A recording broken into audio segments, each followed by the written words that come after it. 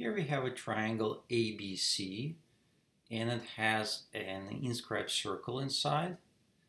The inscribed circle is tangent to all three sides of a triangle and the points of tangency are D, E, and F.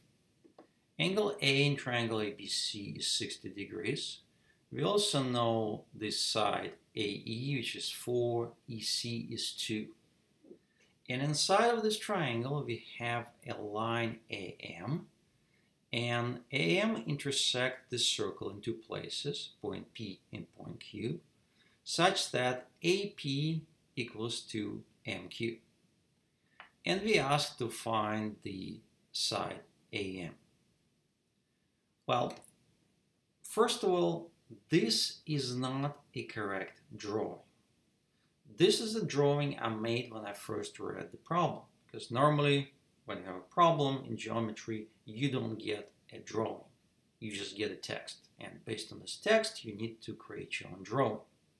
Normally, it is recommended to have the correct drawing or make a drawing as correct as possible. Sometimes incorrect drawing will result in incorrect conclusions. So what could happen in this case? Well, we don't really know what these angles B and C are. We don't know if they are acute or obtuse. So does it really matter? Well, it depends. We don't know if it matters or it doesn't. It may matter if you start using some facts, for example, the fact that angle C is acute, but it turned out that angle C is obtuse. Another thing, we put point M here is point M really between B and D or between C and D? Those things we need to keep in mind when we deal with the drawings where we're not sure that whether this drawing is correct or not. If you're not sure about the drawing, we actually should try to avoid using the facts that rely on certain aspects of the drawing, which we're not sure. Here we have an inscribed circle and I'm going to use certain facts about inscribed circles, which I talk in many, many details in one of the previous videos. And I posted a link to this video here. One fact is since E and F are point of tangency, AE should be equal to AF. In a similar way, EC should be equal to CD. And obviously FB should be the same as BD. But we don't know either one of them, so let's call it X. So let's call point O as the center of a circle. Now we're going to connect this point O with point E and point A.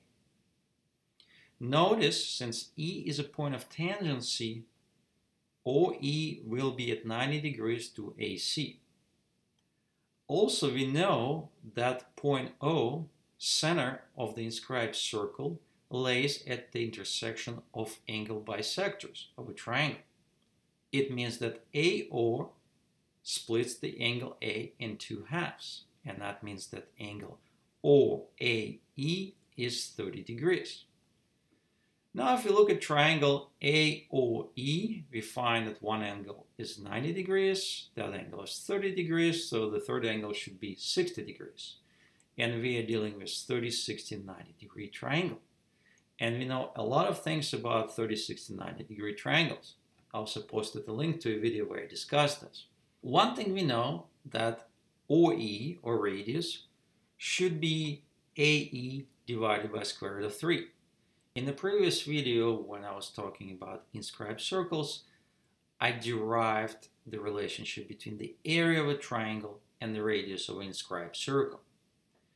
The relationship is that the area of the triangle is the radius of a circle times half of the perimeter of the triangle. And that gives us this formula. The other thing we can do is to calculate the area of the triangle in the normal way, as a half of the height times the base. So the height or altitude we're going to take is this BH. In this case, the base will be AC, and the area of a triangle will be 3 times BH. And all we need to find now is that BH. And we can do it quite easily. Look at the triangle ABH. has 90 degree angle, the angle A is 60 degrees, and that makes this angle B 30 degrees. So we got ourselves again 30, 60, 90 degree triangle. And now we know the hypotenuse of this triangle. And based on this hypotenuse, we try to calculate the leg that is opposite of 60 degree angle. And we know that leg will be square root of 3 over 2 times the hypotenuse. And now notice we calculated area one way and we calculated the area another way. So obviously those formulas should be the same. So we can equate both of this relationship. Now in the second equation we actually use the formula for BH to get here. What we have here is a linear equation for x, which we can easily solve, and we can find that x is 12. And now we know all the sides of this triangle. And once we know all the sides of the triangle, we can easily draw it in a more correct fashion. When you go to math competitions, you're normally allowed to carry a ruler and a compass with you. So we can accomplish drawing a triangle in a correct way by using ruler and a compass. And if we do, we're going to get a triangle like this. And notice the angle C is actually indeed is obtuse angle. Whether it's important to us or not, well, we'll see. Also, notice the point M is between B and D, and that's really, well, just a guess based on eyeballing different distances, this seems to be the only possible scenario. But again, you cannot purely rely on the drawing, even if it's done with compass and ruler. If in any way we're going to use the fact that M is between B and D, that has to be shown to be true. Otherwise, we'll have to also consider the case when M between C and D and prove that it's not there. The other thing that should come to your mind when you deal with the circles and the lines and the segments is something called power of point theorem. There are several variations of this theorem. The variation we need is this. So we have two lines. We have a blue line and we have a red line. The blue line crosses the circle at two points, A and B here. The red line is actually tangent to the circle, and point E is a point of tangents. And it turned out there's a relationship between the segment OAE and segments OB and OA. And that's this relationship. I have a detailed video related to power of point theorem, looking at all possible combinations. I posted a link and I highly recommend you to watch that. Now we're going to use this theory. Notice what we can do. We can look at the line AM as our blue line here. And also we can look at line AE or AC, which is a tangent line, and that's going to work like our red line here. And if we apply this power of point theorem, we get a relationship between AP, AQ, and AE. And we know what AE is. So we know what the product of AP times AQ is. We can also apply this theorem for another pair of lines. We're going to use again line AM, but the other line is going to be BC. Point M is point of intersection of those lines. And in this case, we're going to relate MQ, AMP, and MD. But now notice that MQ and AP are the same length.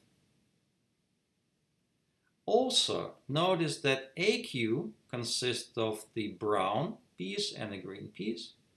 MP also consists of brown piece and the green piece. So AQ and MP are also the same length. But that means that the left-hand side of both equations are the same, and therefore the right-hand side should be the same, and that gives us MD. And now we are ready to calculate AM. To do that, we're going to apply a law of cosines. Just to remind you, if I have a triangle, and I know two sides of this triangle, like A and B, and I know a cosine of the angle between them, I can use this formula to calculate the third side. Now to calculate AM, I know side AC and CM, but the next thing I need to know is the angle between them. I need to know cosine of angle C. To get that angle, we can look at the triangle ABC, and on that triangle, I know all the sides. So I can use law of cosines to actually find the cosine of this angle. So if you look here, I know AB, I know BC, I know AC, and I can calculate cosine of angle C. If you plug the numbers and rearrange, you will get that cosine of angle C is minus 1 seventh.